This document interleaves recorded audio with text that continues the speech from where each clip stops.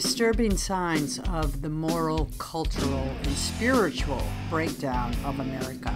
That's the topic of today's Bold and Blunt, and I'm your host, Cheryl Chumley, giving you a Christian conservative look at today's news, politics, culture, and events. Did you catch that video coming out of Charlottesville, Virginia? The one where the little bitty, itty bitty kids were reading from an LGBTQ uh, approved talking point memo and celebrating Pride Month. While parents, parents and teachers and staff stood by and oh applauded. Isn't that so cute that janie uh, talks about lesbians and, and gays and so forth?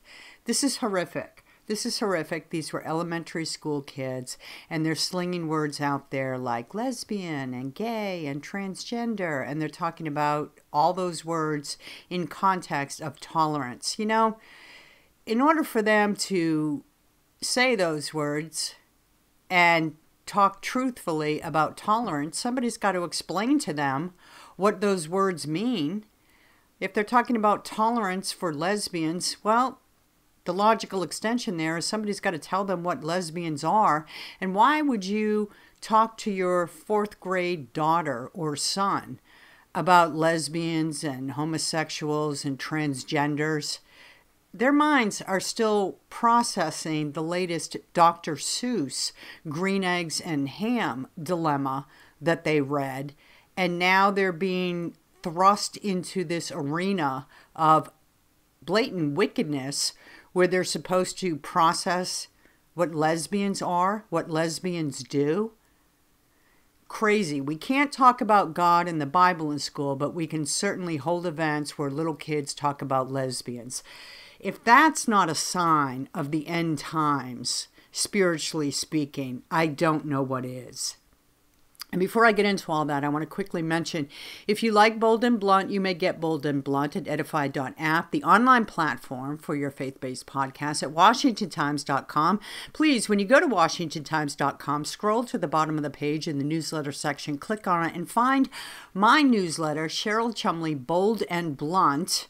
It's titled that because I am. Click on that and please sign up for my three times a week newsletter.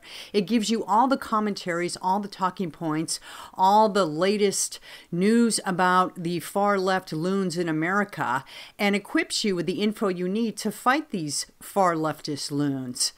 And Guess what? Also contains my Tuesday and Thursday Bold and Blunt podcast, all in one one fell swoop, as the saying goes. You can get all my stuff delivered right to your email box.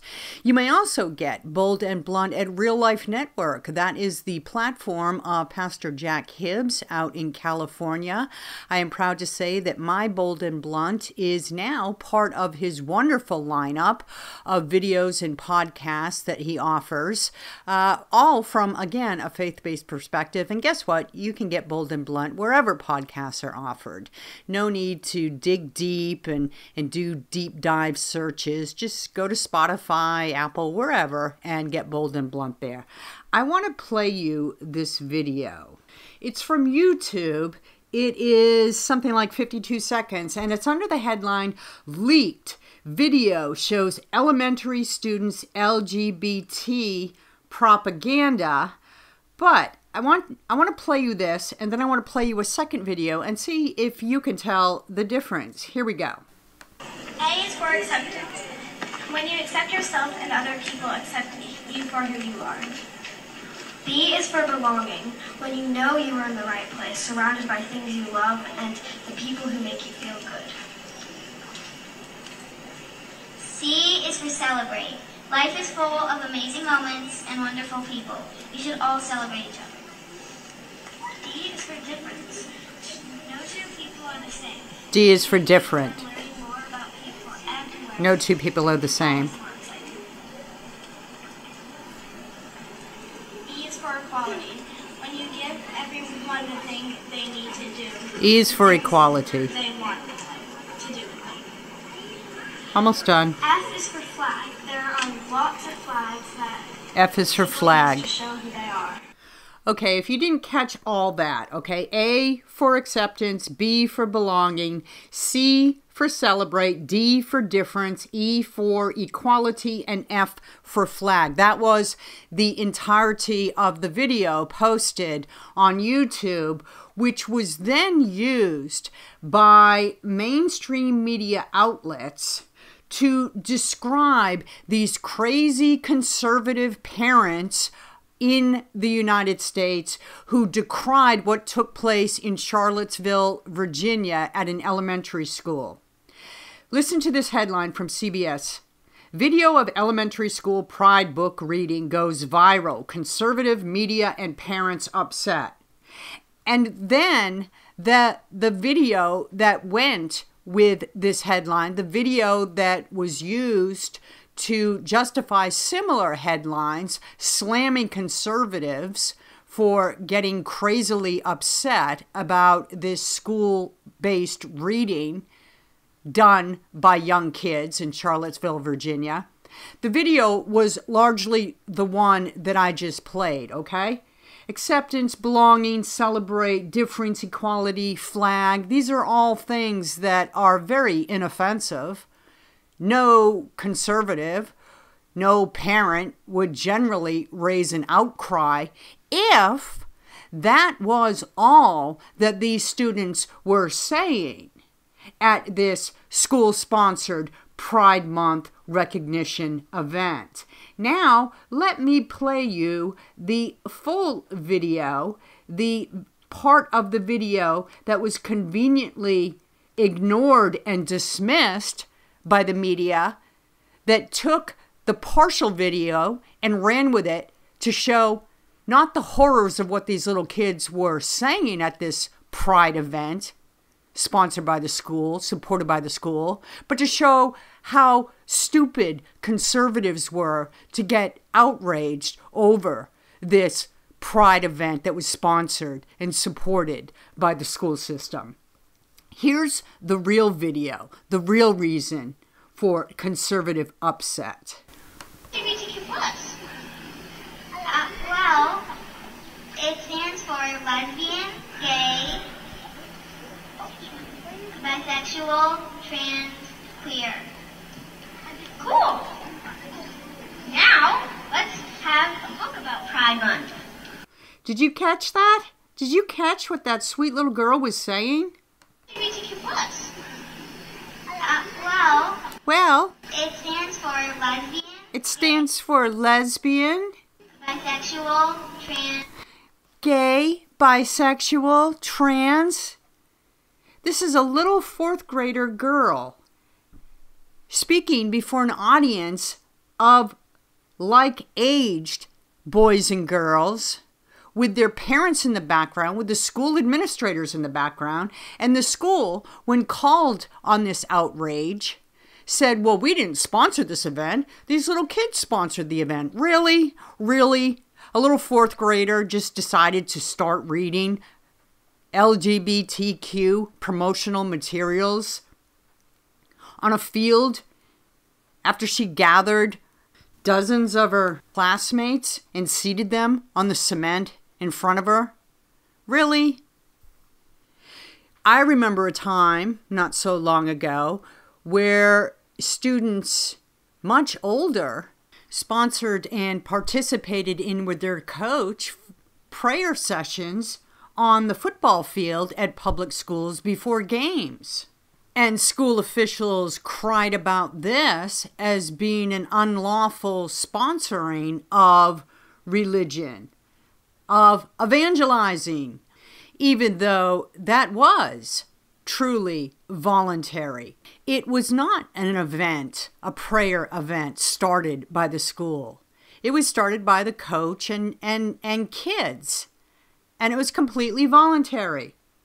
But boy, did schools fight that. Part of their argument then was that students participating weren't really participating in a voluntary manner, that they felt pressured to go along with the prayers that this coach kicked off in the field because of his position of authority. And yet, we're supposed to believe little elementary girls and boys, fourth graders, kicked off this pride event without any sort of backing or influencing or pressuring from school administrators and parents. Cool. Now, let's have a book about Pride Month. Cool. Now let's have a book about Pride Month. From that, the Freelance Star in Fredericksburg, Virginia writes this headline Right wing media circulating video of Charlottesville students at Pride event. As if as if right wingers are the only ones who are actually concerned about sexual grooming of young children. Look, the video is horrific. But the video that the mainstream media is using to showcase parents and conservative parents, especially, as the problem, as discriminatory against the LGBTQ agenda, it has been cut. The, the, the horrible part has been taken out. The part where a little girl talks about lesbianism and so forth. And the stuff that nobody has a problem with has been left in, talking about acceptance and belonging and so forth. But that's how the mainstream media just furthers a wicked, evil agenda that has been coursing through America for some time now. And it's getting to the point where we hear more and more, more and more talk about the end times, revelation, the, the spiritual second coming of Christ, and so forth. And I just wonder where you stand on that, where you think America and the world is when it comes to the end times. What are the signs of the end times? Life, hope, and truth writes here's a checklist religious deception, wars and rumors of war, famines, pestilences or disease epidemics, earthquakes, signs in the heavens, persecution of the followers of Christ, lawlessness, and preaching of the gospel of the kingdom all around the world. Because it used to be very difficult to imagine that the gospel could be preached around the world before the internet came, right before technology, because it would mean that the Bibles would actually have to be physically carted and carried to those remote areas of the world, which were very difficult, if not impossible, to reach. Well, all that's changed now, so we can check mark that off the list of things that are almost impossible to see realizing and understand that hey, the gospel is in fact being preached around the world rapidly as we speak. But here to me is a very interesting end time, right? Go to 2 Timothy uh, 3 but know this that in the last days perilous times will come, for men will be lovers of themselves, lovers of money, boasters, proud, blasphemers, disobedient to parents, unthankful, unholy. How much more unholy can it get than having little fourth grade little girls read out loud about LGBTQ agendas in front of their classmates, while parents, while staffers of the school, while administrators of the school applaud and dig down and defend. It doesn't get much more unholy than that, unless you want to swing out to Calvary Presbyterian Church in, what is it, Los Angeles? No, San Francisco, California Historic Presbyterian Church in San Francisco hosts all ages drag queen Bible story hour. And get this the church puts out on its Facebook page for the gift of drag queens, oh God, we give you thanks. And it should be noted that once again, like every other drag queen event that goes on in America these days, it seems, children were welcome. We thank God for the great diversity present in this world, the church posted on its Facebook page, and hold to the truth that each and every one of us is created in God's image and loved by God. For the gift of drag queens, oh God, we give you thanks. So, drag queens created in the image of God. Unholy, unholy. I'm sure just off the top of your head, you can list another dozen or so end time checklist items that are either in the works of being done, conducted, finished, or have been done, conducted, finished. And if you're not spiritually minded in these perilous times right now, if you're thinking politics will save you, if you're thinking the right guy or lady in public office will change everything around and fix all that ails, I think you're wrong. I think you're mistaken. I think you're missing the mark. And I think you're part of the problem. But I have with me a guest today who is a noted journalist, broadcaster, podcast host. He actually pod, uh, hosts a great new podcast at the Washington Times uh, called Higher Ground. Uh, it, it's a video product, it's an audio product, and it has a companion newsletter called, guess what, Higher Ground. And it showcases all these goings on in the world through a faith based perspective which is how we as humans should be viewing what goes on in the world anyhow. But he is a repeat guest on Bold and Blunt, and I admire his work greatly. Billy Hallowell, thank you so much for being on Bold and Blunt. It is great to have you here. Well, it's great to be here. You know, I love I love this show. I love your work, and always excited to talk about faith in our culture today. That is so kind of you to say, and I'm an admirer of your work as well. And I think this is going to be a great discussion. I'm sure when you look at what's taking place with the LGBTQ community right now, the pride flag being flung at the white, uh, flown at the White House, in between American flags. Uh, what's your response? What do you what do you think of what's going on in America right now? Yeah, it's it's really remarkable to watch where we are right now. In that, I think the biggest casualty of all of this is religious liberty, religious freedom. Right? You know, we've had these conversations in this country for so long about respect and love for each person and that people are going to disagree.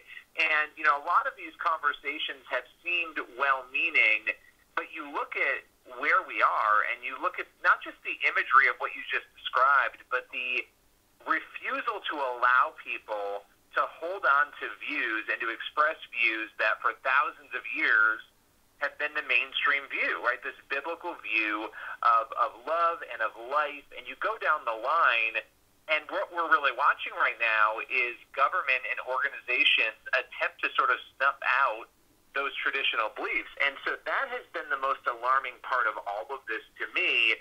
It really went from, you know, we're going to respect and love everybody and give people a chance and, you know, to, to sort of live out their life the way they want to you have no right to express your view or the way you want to live your life out. And so that, you know, that's a very general sort of statement on it. But I do think watching that imagery from the White House and watching, and not just the imagery, but the, the comments from the president. I mean, yeah. you look at, at what Joe Biden has said about the, the transgender issue with kids, right? It, it, like it's immoral if you won't transition children, essentially. And, and he's repeatedly said this. And so it's very disturbing to watch, honestly. And going back to what you just said about for thousands of years, there has been this sort of accepted norm of cultural behavior. And just astonishingly quickly, it's been broken here in America. And there are some smart people out there, and I'm sure you're aware of their uh, studies and, and analyses and so forth. But there are some very smart people out there who think that we are indeed living in what Christians would call end times and uh, the rapture is imminent. Jesus' uh, second coming is right around the corner. What do you What do you say to that? You know, it's so interesting because I wrote a book on this. The first book I, I ever wrote um, a few years back was on this topic of the end times. And you know, as a Christian and as you know a journalist and a commentator, and sort of you know just pulling information together after growing up in the church my whole life and hearing you know, the signs of the end times, it really is remarkable to see the times we're in because you look at Jesus's warnings, you look at the things that Scripture tells us, and a lot of people will look at those things, you know, earthquakes and rumors of wars and these different signs, and they will say, oh, you know, that's always happened. And to a degree, that that's true, right? I mean, there's nothing new under the sun. Scripture tells us that. But we can't know when the end is going to come, but we can know that there are some signs that point us toward, hey, we might be marching toward that a little faster than than maybe we thought we were. And to me, the biggest thing that has me alarmed and paying attention you know, Jesus talks about people's love growing cold,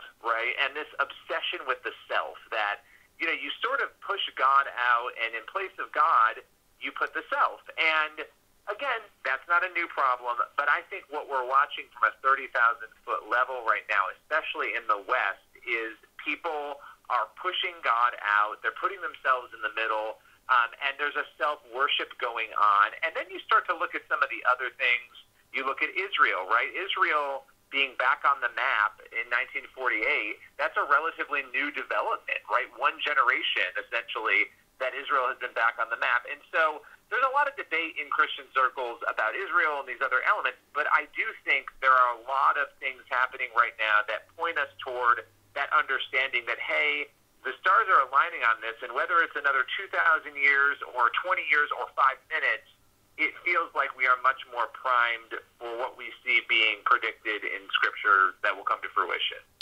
Yeah, because you look at all that and more, and you, you you look at how now the Bible is being interpreted in all these different languages. Because one of the one of the check marks that had to occur was that the Bible would be or the gospel would be preached throughout the entire world.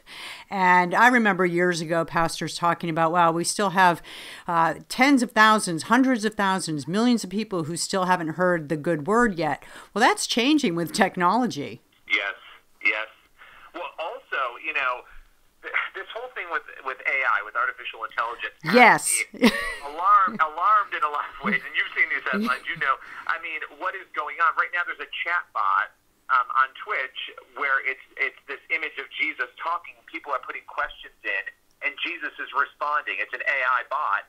And you know, you have people trying to rewrite the Bible at the same time. But to your point, just to focus on that for a second, because that is a major check mark. And there have been a lot of cultures that have been unreached, but with technology and with the rapid, you know, translation of Scripture, people are being reached. And, and really, Jesus is not going to return until everybody has had a chance to hear. You know, so I think we're we're very close to that. We're inching closer to that every day. Uh, but then I also have these other concerns of you know these warnings that people are saying, oh gosh, you know, Scripture is going to be rewritten. You're going to see new religions come about. And I, I do think, you, you look at Ephesians 6, the battle between good and evil, I feel like we're really watching that ramp up. And one of the things that I have found bizarre and, and alarming has been, you know, Satanism, right? You're seeing Satan, Satanism pop up in the headlines. You're seeing it used to be that the devil loves to hide out, right? And so he he tries to hide out and trick people and sort of you know, sneak, sneak into their hearts and minds, and that still goes on. But we're also seeing culture sort of embrace those satanic themes, and it's happening in entertainment. It's happening in all these different places, and so that's another interesting trend that I've been sort of looking at and trying to, to understand. Yeah, the the Satanist clubs in, in schools and so forth, and then the absolute denial of this group's uh, members in saying that they even believe in Satan. It's funny they adopt a title like the Satanist Temple or the Sa- Sa- Satanist Club, and then they say they don't even believe in Satan. Right. Well, and that's the thing, and you know, I've written on this extensively because people are very confused. A lot of people are saying, okay, well these are Satanists who are worshiping Satan. Well, they're atheistic Satanists, right? These the Satanic Temple and these other groups, they claim, as you said, not to believe, and yet you look at their events, and it's so bizarre. They're taking on the imagery, right, of Satan. They're using the imagery, and I think, you know, from a spiritual perspective, because we could talk politics and we could talk spiritual. You know, I think you can very easily be used by Satan without realizing you're being used and without even believing in him. And so you know, it's fascinating to me that an entire group of people would worship essentially the literary idea of Satan without believing in him and yet borrow from those themes. And, you know, at the end of the day, these are very progressive, atheistic political groups in some ways, right? I mean, that's what, what they essentially are. And, um, you know, they, they may have conviction in what they believe, but they're borrowing all of those themes. And, And that isn't to say, because there are still people out there who do actually worship Satan, and that's a theistic Satanism. But the one that we typically hear about in the headlines is the quote unquote atheistic one. And it's definitely a strange dynamic. Yeah, it kind of reminds me of the Democrats, Socialists of America saying that they're not socialists. It's, it, you know, you can call yourself what you want, but you're still leading down the same pathway in the end. It may be slower than actual socialists, but it's still the same. That, that's the same to me as the Satanic Temple and these other groups that deny they worship Satan. Oh, exactly. It, it is. And I think, again, you know, you've you've got a big political push. Let's remember too, these groups they're always advocating for abortion. They're always, if you look at what they're pushing for, it's it's these sorts of, of values, right? They're, they line up exactly. In fact, there was a writer who was at that Satanist convention that got a lot of headlines saying, you know, gosh, this felt very much like a political, like a progressive political platform. They were just advocating for all of these things and you know they, they have the right to do that, but I think people are alarmed, uh, rightfully, and want to push back, especially. And let's let's remember these after-school Satan clubs.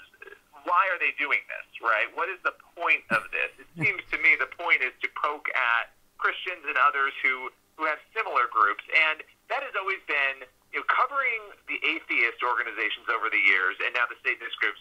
My frustration as a human being has always been, well, what's the purpose of this, right? Is your purpose just to torment other people? Is it to tear down Judeo-Christian values? And I think there's a spiritual purpose for why they're doing that that they might not recognize.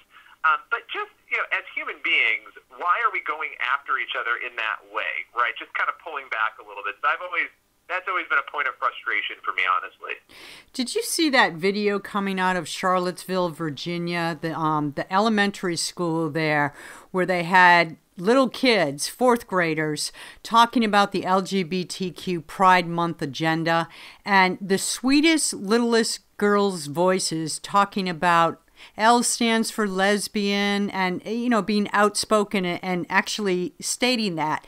And parents and adults just standing by and applauding. Did you see that video? I saw another one. I did not see that one, but I am not shocked. I mean, this, this stuff is everywhere suddenly, right? I mean, it, it's an explosion.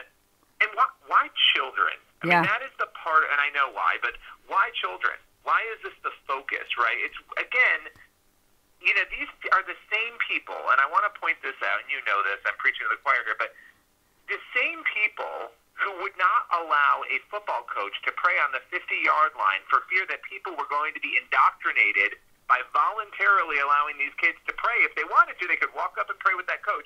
That had to go to the Supreme Court. We had to allow this man to fight for years for that basic right to pray on the 50 yard line. And yet we are putting kids in this position in many schools where they're reciting these things. It is just wild to me. Yeah, it, it is. And Kirk Cameron trying to read uh, biblical stories in the same libraries that allow drag queen shows and so forth to go forward. And he has to fight for that access as well. It's disgusting now. Yeah, and, you know, and I think this goes back, though, to, you know, what I was saying at the beginning, right? Are we going to have a real conversation in this country about people's rights? Because this has been this has been a long-standing battle, right? And it seems like we're constantly fighting between the First Amendment and the Fourteenth Amendment now. Whose rights win out? Is it the religious people? Is it equal protection? And it seems like in some of these circumstances, and I'm stepping back from the drag queen story hour conversation and, and saying, okay, is there a middle ground? And what I mean by that is in an ideal world, we could easily say, well, if you're going to allow this thing that we object to, right, this drag queen story hour, well, then you should be investing the same amount of time in allowing people like Kirk Cameron to speak, right? The fact that that doesn't happen, I think, is pointing to this almost replacement of values that the country has just like ricocheted in this opposite direction. Um, and, and, you know, there are so many stories of ministries and organizations and individuals who are fighting to ensure that they have the basic First Amendment rights, including that football coach who thankfully did win his case last year. And and that is why when people say, "Oh, you know, you're complaining about all these things that you know," a lot of the things we're talking about right now, five, ten years ago, we would have said, "Oh, that'll never happen," and a lot of the critics did say that'll never happen. Well, now it's happening, right? And so you're understanding why people are waging these First Amendment fights. And let's ju- let's just finish with this last question about what you just mentioned, the replacement of values in America. Does that mean, in your view, that America is on a path of definite peril, that there's no turning back? And I know that Christians always talk about, well, if we confess our sins and pray, God will save us. But I see a lot of prayer groups uh, springing up, but I don't see too much talk about sin and the fight to do away with sin, to turn from sin. Well, and what you just said is so important because I think a lot of Americans are 100% convinced, and even people who are Christians, that the battle is going to be won through politics and courts and all these other things. Those are important battles to fight, right? Because you want to maintain those rights. And thankfully, we have had justices and people at the court levels who have been willing to defend those rights. But the real battle is a spiritual battle. And I you know, I'm very torn because I look at things like the, the Gallup survey that just came out showing that more Americans are socially conservative than at least since 2012, right? So you look at that and you say, wow, something. If I'm Joe Biden and I'm the Democrats, I'm in a panic looking at those numbers because there's no world in which this country should be, people should be self identifying more as social conservatives. That makes no sense.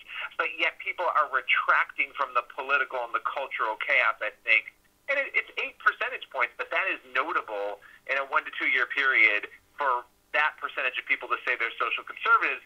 But but the broader point I think is that I don't know where we're going to end up. I do think we could very easily see a situation where things continue to denigrate and become culturally dangerous while at the same time you have a revival going on, right? And so yeah. you have this weird dynamic where people are coming to faith in I mean, we saw 4,100 people get baptized in California a few weeks back.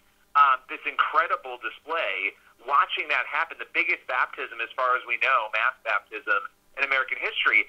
So those things are going to happen, I think, at the same time, and that is the, to me, the Ephesians six battle is sort of really unfolding in an even bigger and broader way right before us. So I don't know if that answers the question, but I, I do think it's going to be interesting to watch.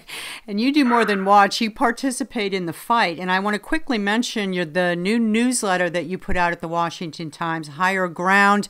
Uh, do you have a new issue that you can promote real quick? Yeah, you know, so that is out, and you know, we also have the Higher Ground uh, podcast, which you know is has been a lot of fun, and you've come on that show, and you're gonna we're gonna keep bringing you back on there to talk through the headlines and sort of focus on what the Times is covering uh, but yeah, there. I mean, there's so there's just so much going on, and loving getting a chance to talk about these things. Uh, you know, just like you. I mean, you do such incredible work. Um, lo- I love your commentary and really looking at the culture because we're not gonna we're not gonna win the war. We're not gonna win the battle by fighting politics, but we should be engaged. We should be. I don't want. I, I hate the whole let's just step out entirely and not have any position at all. Well, that doesn't make sense. But winning souls is the thing. That is going to be what really changes hearts and changes minds. And so that's that's where our focus is. And you know, love getting to do the news the newsletter and kind of pointing people back to the truth. Yeah, I got to agree with you on that. Winning souls is where the real war is. Well, Billy Hallowell, it's been such a treat to speak with you. Uh, I would love to have you come back on Bold and Blunt, but I will see you down the line because we run in the same circles, it seems. Absolutely. Thanks for having me. Thank you. Interesting discussion, yes? I hope you mull it over, and if you're undecided about where to stand spiritually speaking, faith based speaking, you better choose soon because believers out there like myself think time really is ticking away. And the longer you put off deciding whether or not to follow Jesus, is the longer you are basically floating down the river doing Satan's bidding.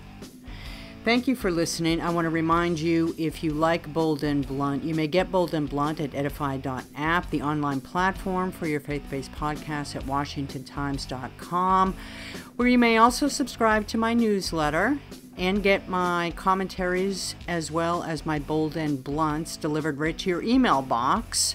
And you may get Bold and Blunt now also at Real Life Network. That is the platform run by Pastor Jack Hibbs out in California. And one more quick mention you can just go to Google or Bing or a search engine and type in Bold and Blunt with Cheryl Chumley, and you can get my podcast wherever podcasts are offered. If you are a subscriber, thank you so much. Thank you very much for your support. And if you aren't, please check it out, subscribe. Love to have you aboard. Thank you for listening. Tune in next time. And in the meanwhile, don't forget stay blunt, stay bold.